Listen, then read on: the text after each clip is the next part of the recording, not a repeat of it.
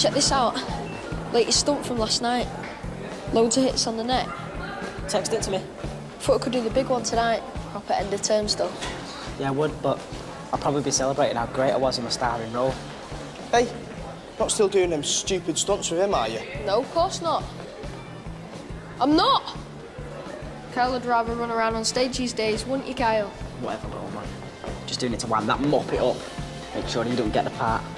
Don't care about no stupid panto. Just gonna ruin it for the rest of them.